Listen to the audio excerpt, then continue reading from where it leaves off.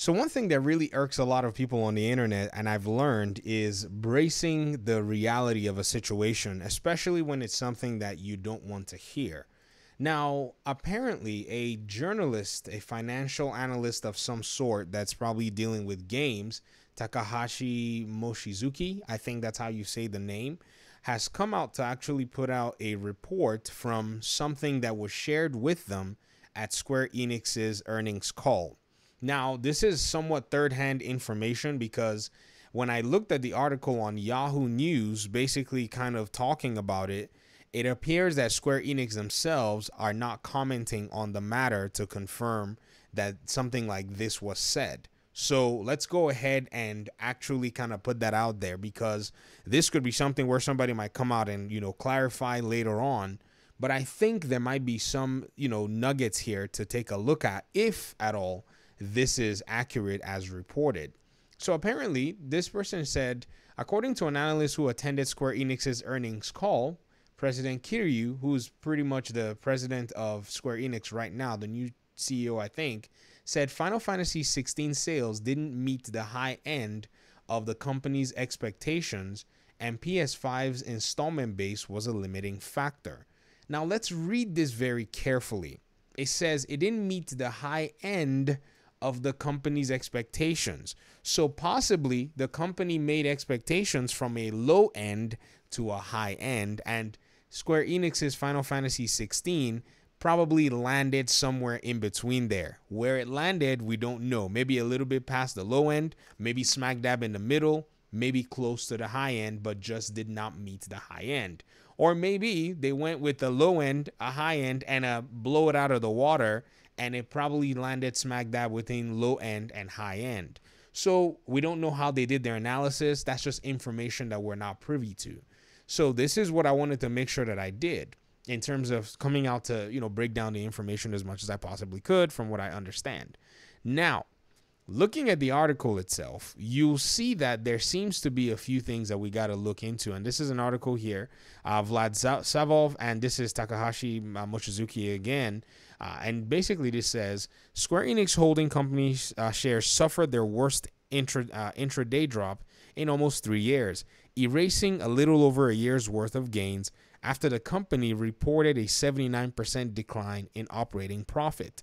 So these are other things that are actually going on within the studio as well. This is I don't think this is on 100% related to Final Fantasy 16. So let's not go ahead and, you know, conclude that oh, Final Fantasy 16 has destroyed Square Enix. Eh, I'm not an alarmist like that. I try to take my time to you know, basically pick out information as best as I possibly can. Hopes that Final Fantasy XVI would boost sales were dashed by the company's downbeat earnings report on Friday, driving the stock down as much as 15% in Tokyo on Monday. Shares were trading around 5,600 yen at midday, their lowest since May of last year. Both the Index and MSCI AC Asia Pacific Index were uh, up around 0.3%. Sales of the latest installment of a long uh, running role playing title did not meet the high end of the company's expectations. Square Enix's president Takahashi Kiryu told an analyst on a post earnings call Friday, according to three people who attended. So apparently, they got this from three people. The tweet pretty much said, um, it says, according to analysts who attended. Okay, so that's probably where the three people were from. First released in 1987 in Japan, Final Fantasy was a pioneer of the fantasy role-playing genre, and with the franchise, uh, with the franchise churning out blockbuster after blockbuster in its early years, but momentum has been falling. The game's latest iteration, which debuted exclusively on the PS5 in June, sold at a much slower pace than its immediate predecessor. So I think this is what was going on. So because of the game's release, even though it sold a lot in its first week, it appeared that those numbers that were being hurled around Twitter, but because you know console wars are just insane, nobody can actually get to the crux of the matter. It seems like those projections were probably there, like, oh, maybe we'll be able to get these numbers, and that just did not happen. The Final Fantasy franchise's profitability is weakening, and improvements will take time. Citigroup analyst Junko Yam, uh, Yamamura said in, in notes to investors. Tokyo based Square Enix's maintained its fiscal year forecast and increased sales by double digits in the first quarter. It has 10 analyst ratings, it, uh, rating its shares a buy, 10 holds, and no sell ratings, which is still decent. And then, you know, the analyses continue to go on.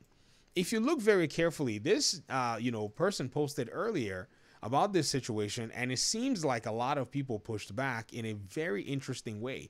It seems like they didn't want to hear the truth. This is a three hour window between the first post that he actually put up that I saw and this new post. And he says Square Enix's stock price is falling at a lot, uh, you know, a lot after its Q1 earnings result that analysts said disappointing. The analyst said Final Fantasy 16 sales fell short of expectations and concerns ahead of uh, ahead is Final Fantasy's franchise's profitability is weakening. So it seems like the remedy is to just go ahead and put the freaking game on the PC platform. There is absolutely no reason that Final Fantasy should not be on PC. I don't play the game. I've known about it since I was a young boy. I remember in high school it was kind of the big talk of everybody. I mean, I had a good friend who he because of Final Fantasy 7 back in the day on the PlayStation uh PlayStation. Was it Final Fantasy 7 or Final Fantasy 8? I'll have to call him and ask him. We're grown men now, but he will not forget that. He was held back because that game basically, you know, held him back. That's how we became friends. He was my senior in school, and he played that game so much and didn't do his homework, didn't do his schoolwork, and broke all kinds of school rules to play that game. And that's how I knew that that game was absolutely, uh, uh, you know, a, a, mess when it came to, you know, the game's uh, attraction or whatever it is.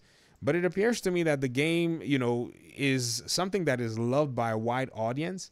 But it appears that that wide audience is not here to be able to go ahead and uh, you know support uh, the game because PC is missing. PC is a is a segment of the market that as much as everybody wants to talk about, oh, PlayStation has 40 million you know units sold, it's still not in a position where it can sustain a lot of games. Sure, they probably got a chunk of money to be able to keep the game as an exclusive at the time that it released, but that's something that you can't necessarily translate to how many copies would have sold on PC and how many other copies would have sold on the long run because these numbers keep confidence and continue to keep the valuation of the company high. But when you see situations like this go on, then the valuation of the company takes a hit and can erase huge swaths of um, you know progress that's been made by the company uh, in terms of keeping its valuation and so on and so forth. So PC is the way to go, Square Enix. You know this, and we know you're already shaking hands with Microsoft and so on and so forth.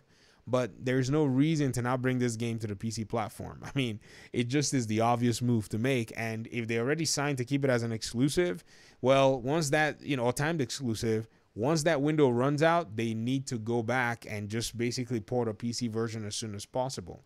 But this is not the only reason. I mean, Forspoken was also another game that kind of, you know, probably cascaded a lot of things as well too, coming out in the state that it did in January of the year. So we're not going to throw everything on Final Fantasy, but I mean, the obvious remedy to this Final Fantasy, you know, lack of sales or shortage of sales, let me not say lack of sales, but shortage to meet expectations could have easily been resolved by just bringing the game on PC. Final Fantasy is is becoming more and more of a niche game as time has gone on. It had a wider appeal back then, but you know, unless you're seeing some I mean, I don't know, for some reason I guess it's not a niche game. Let me not say that. I guess maybe there's just not as much interest because a lot of competitors are starting to do some really interesting things. I mean, Elden Ring is still trending. If you go on Twitch, there's still somebody who's playing Elden Ring in front of a huge audience. Uh, you know, maybe there might be somebody playing Final Fantasy 16, but just other studios are able to bring games that have some sort of a bigger impact that you know, if you're not going to appeal to Final Fantasy fans, which again, Final Fantasy 16, according to fans, kind of deviated from its original, um, you know, setup and is now moving to this high action, you know, sequence Final Fantasy game. So that's something that they probably need to go back to the drawing board and look at. But I want to go ahead and share this story and just talk about it because I felt it was quite necessary to point it out and to point out how, you know, it's easy for these companies to remedy stuff. I know they want to take cash on hand, but that cash on hand is probably, you know, on the back end going to hurt you in one way if you're not, you know, serving a larger community. Peace out.